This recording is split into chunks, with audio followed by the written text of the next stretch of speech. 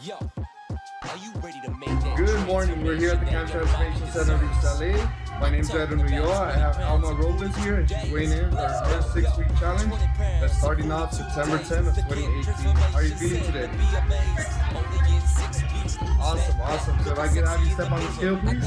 There we go. Initial weigh-in, 155.8.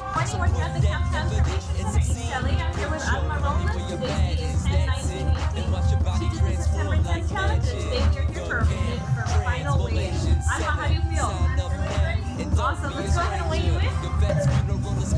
So you're at 135.8. Get in shape, be healthy, feel great. Don't matter your age, it's never too late.